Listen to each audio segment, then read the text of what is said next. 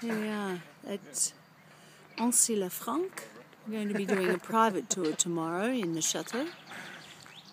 And we've just been today to Fontenay, Abbaye de Fontenay, and actually caught up with Trevor's.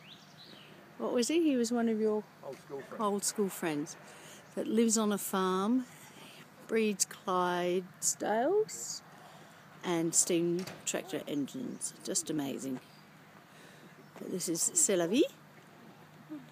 looking beautiful as ever, and the sun is shining.